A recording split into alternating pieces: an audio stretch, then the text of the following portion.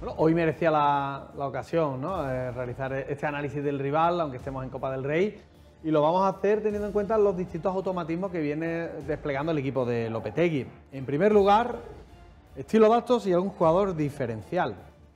Y fíjense porque dentro de esos futbolistas diferenciales que se lo, al final se lo ganan obviamente por los méritos que realizan en el terreno de juego, hay dos futbolistas que no participan, uno ni convocado y otro en el banquillo, que son eh, Fernando y Acuña.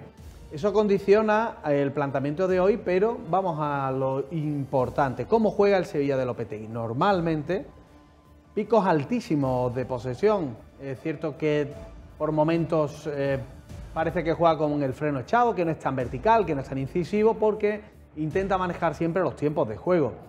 Una manera de jugar que siempre por los costados, aquí por ejemplo contra el Getafe en su banda diestra, con un 51,4% de ataque, es por donde intenta hacer daño. Y si lo vemos en la zona de ocupación de manera gráfica, fíjense en Montiel, el futbolista número 2, el que está con una flechita en la parte baja. Y arriba Cuña, en definitiva, las bandas muy profundas y en el centro del campo están divisando bien, casi cinco futbolistas en la zona media. Ese fue el partido ante el Getafe, pero también me he querido centrar en este ante el Cádiz, porque Lopetegui cambia de sistema, utiliza el 1-3-1-4-2, un, sistema donde sigue Fernando pivotando en el centro del campo, pero son tres los futbolistas que realizan esa labor defensiva, con un pico altísimo también de posesión. Insisto en este aspecto porque el balón sí lo tiene el Real Betis Balompié en el día de hoy, va a quitar una de sus principales herramientas tácticas al equipo de Lopetegui. Por donde atacó el Sevilla Fútbol Club. Lo están viendo bien, de nuevo por banda diestra con un casi 40% de porcentaje de ataque. Alex Moreno, Juanmi deben estar muy concentrados para evitar que no sorprendan con las constantes acometidas por esos perfiles.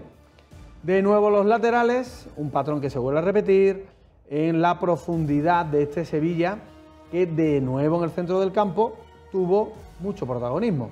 Un protagonismo además eh, hilvanado con bastante juego horizontal que impidió al Cádiz realizar su juego de transición. Y en los datos, estadísticas, el jugador que más goles lleva, Rafa Mir, el que más pase, Diego Carlos, muy cerquita, Fernando en la tercera posición y Acuña, el jugador que más asistencia da. En definitiva, un Sevilla que ha perdido a uno de sus principales elementos, pero esto es fútbol de élite, también las plantillas se hacen a principio de temporada previniendo pues cualquier altercado que haya durante la competición.